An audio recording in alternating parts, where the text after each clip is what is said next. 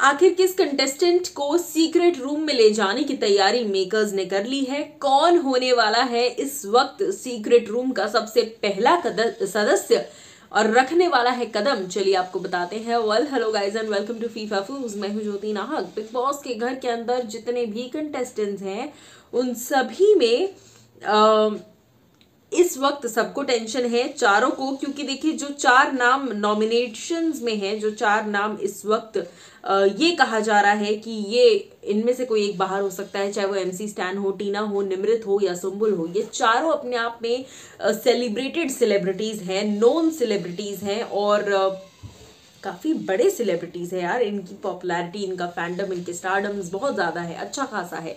तो ऐसे में इनमें से किसी को भी निकालना मेकर्स के लिए बहुत टफ डिसीज़न है। हालाँकि अगर जेन्युइनली गेम के बेसिस पर निकाला जाए तो मुझे लगता है कि टीना निमृत फिर भी रहने चाहिए और सुम्बुल और स्टैन जो है वो बाहर होने चाहिए, सिर्फ़ गेम के बेसिस पर।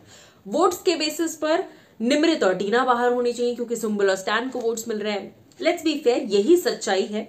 लेकिन मेकर्स अपने हिसाब से क्या फैसला ले रहे हैं? मैं आपको बता दूँ कि कहा जा रहा है कि टीना दत्ता हो सकता है इस सीज़न की वो पहली कंटेस्टेंट बने जो निकल कर सीधे सीधे जाएँगी सीक्रेट रूम में। क्योंकि कहा जा रहा है कि टीना दत्ता को इविक्ट किया जाएगा। वोट्स के हिसाब से सबसे कम वोट्स टीना को मिल रहे हैं। लेकिन क्योंकि टीना एक नोन फेस है, क्योंकि अभी भी टीना के हिस्से का बहुत कंटेंट आना बाकी है। अभी भी टीना के हिस्से का बहुत सारा ऐसा फुटेज है जो आना बाकी है। उनके अंदर से बहुत चीज़ें ऐसी हैं जो आना बाकी है, जो भी शुरू हुई हैं। सृजता के घर में आते ही उन्होंने जिस तरीके से ट्रिगर किया है टीना को, हालाँकि कल मुझे वो रो रही थी तो मुझे बहुत बुरा लग रहा था कि कोई भी वहाँ पर था नहीं उनके इर्द गिर्द लेकिन जिस तरीके से वो ट्रिगर हुई है कल जो कुछ भी उन्हें कहा गया यू नो आपका दिल काला है, वगैरह वगैरह, जो भी चीज़ें कही गई, उन सारी चीज़ों के बाद अब और ज़्यादा इंटरेस्टिंग होगा उनका घर में रहना।